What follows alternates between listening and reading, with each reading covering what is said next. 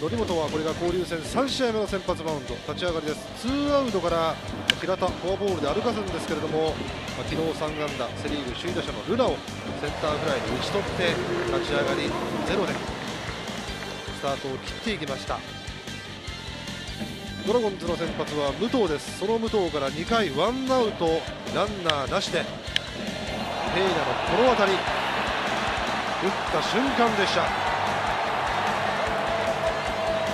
ペイラの今シーズンの第4号先制のソロホームラン。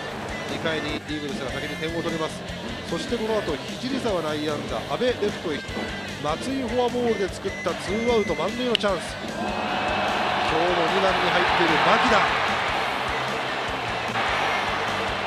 センターへ。これが2点タイムリーになりました。ホームランで先制した後つないで追加点。3対0リードを広げます。さあこの回からドラゴンズは2番手若松がマウンドに上がってその若松からレ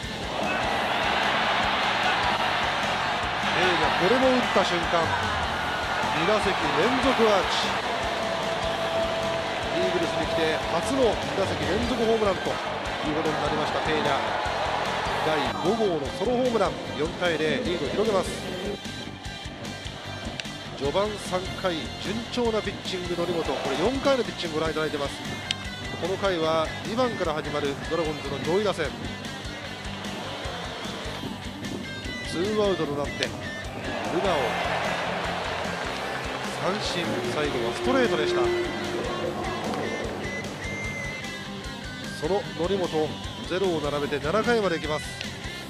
この回はイニングの先頭バッター初めて出塁を許しました。平田レフトへのツーベース。ノーアウト2塁でルナを迎えたところ。そのルナを三振。そして森のファーストゴロ。これでツーアウトランナー三塁。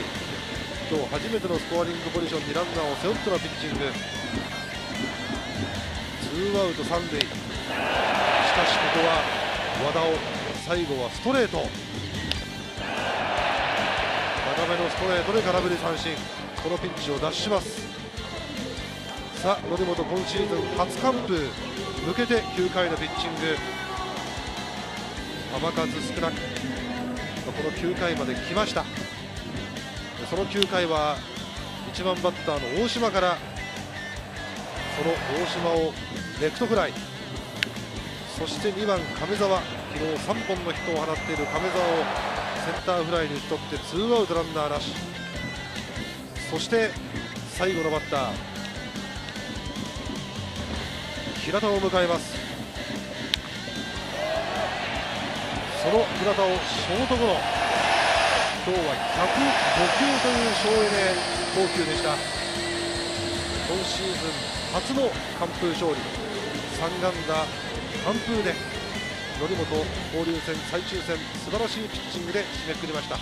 手入れの2本のホームランがありました。4対0で勝利してイーグルス交流戦は2つ勝ち越して全ての日程を終了しています。